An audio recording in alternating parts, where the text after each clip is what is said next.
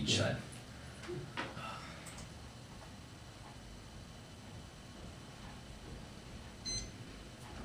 Well, welcome back to the Best of Investing. I'm Edward Brown, your host, and when we cut to the third commercial break, we ask this trivia question. Our theme song, The William Tell Overture, is the same as a show from the 1950s. What hero type show was it?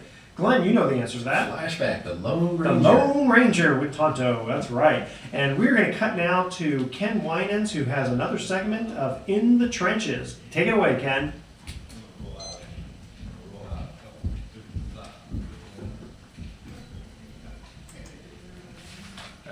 So I show that we have exactly four minutes to go.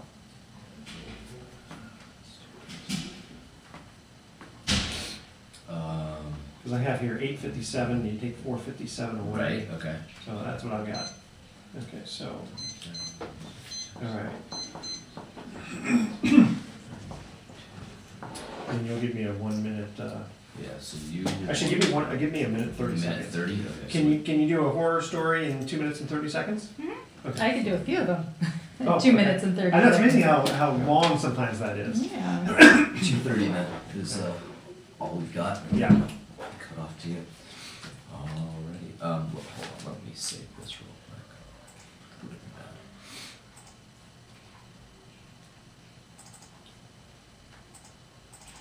This is just Ken's lead-in, right? Yeah, uh, yeah. Ken, Ken, uh, I'll just Ken in the Ken's, trenches. So, say thank you, Ken, and then uh, Okay. mention who we have in the studio audience. and Cover to Michelle.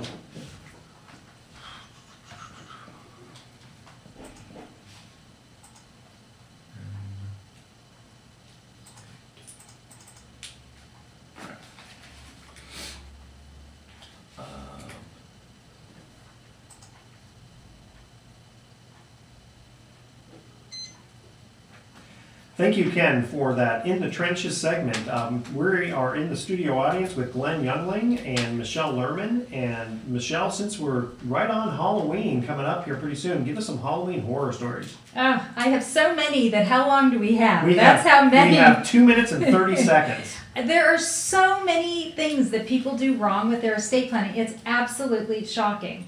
I just closed a probate for a gentleman who was in his 90s, bedridden, and yet he didn't have a living trust signed. What he had was a one page document with a bunch of beneficiaries listed on it, and he signed it and he sent it to his lawyer to have an estate plan revised according to those terms. But apparently, he didn't want to spend the money to have the lawyer come back and, and write it up. I don't know if he thought that one piece of paper was enough. It was dated and signed, but I don't really know. I mean, it's not really a legal document. And it turns out that the court agreed it was not a legal document. Uh-oh. Everything needed to go through probate. And The how, how, large, fees, how large was your estate? the estate was uh, was about almost a couple million, a little less. Ouch. The uh, between the legal fees, the executor fees, the um, the court fees, the filing fees, ended up being around seventy five thousand dollars of fees in that estate. It would have been thirty five hundred dollars for him to have a, a plan done. But the worst part of it, I mean, it's pretty bad having all those fees and, and all the time and energy to get the property and the estate passed on. But what was even worse is who ended up getting the estate. Because who ended up getting the estate, there wasn't one person on his list of who he wanted to who he wanted it to go to. Not one of them got it. There were charities on his list, friends. It ended up going to two relatives that he was estranged from. Well, That's wait, I don't understand why. Because the laws of intestate succession. That's how it ended up. but, but why would the um, those relatives get it compared to the ones who? Because under the laws of intestate succession, it first goes to a spouse. There was no spouse. Yeah. It then goes to parents. There were no parents. Okay. Um, there were no children. No goldfish. and and so it went to the The according to the statute. That's who it went Wow, to. that is, that is a horror story. sad. Well, I want to thank you, Michelle Lerman. We're going to definitely have you on again, um, who is an expert in uh, states and probates. And Glenn Youngling, thank you also for uh, being uh, with us. And uh, get this, okay, these are a couple thoughts for the day. The strongest muscle in the body is the tongue. Uh, that explains a lot in my house, that's for sure. And uh, you know how they bet on everything in Las Vegas? Well, this this will go to the Halloween thing. Uh, in Las in 1980, a Las Vegas hospital suspended workers for betting on when patients would die. Man, that is nasty. I want to thank my engineer Hunter Hornstein for orchestrating this show, and then my guests. Thank you also.